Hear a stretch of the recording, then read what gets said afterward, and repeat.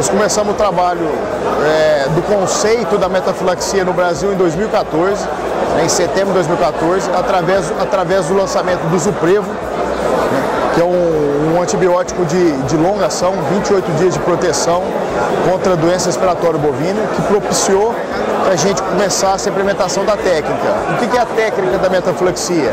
É uma técnica de prevenção, você faz uma análise de risco né, nos rebanhos em confinamento, nos animais que vão entrar no confinamento, você classifica em médio, alto ou baixo risco. Animais de alto risco, você faz essa prevenção né, com o uso desse antibiótico, né, que, é, que é o Zuprevo, que é a base de tio de pirosina. E com isso você é, previne contra a doença respiratória bovina.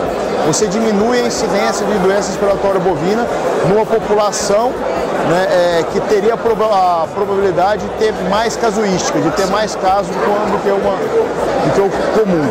Problema respiratório, né, a doença respiratória bovina, é o problema mais comum, né, é a enfermidade mais comum, vamos dizer assim, o problema sanitário mais comum nos, nos confinamentos do Brasil e também dos Estados Unidos. Como a gente está falando da realidade brasileira.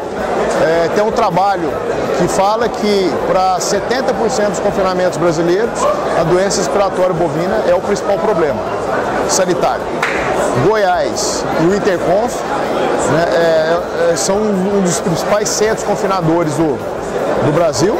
Né, então aqui é um, um, local onde a gente tem a possibilidade de falar com pecuaristas, né, grandes confinadores, grandes grupos confinadores né, e é, mostrar os produtos, mostrar as soluções que a MSD Saúde Animal tem para levar para esses produtores, para esses pecuaristas, para esses confinadores.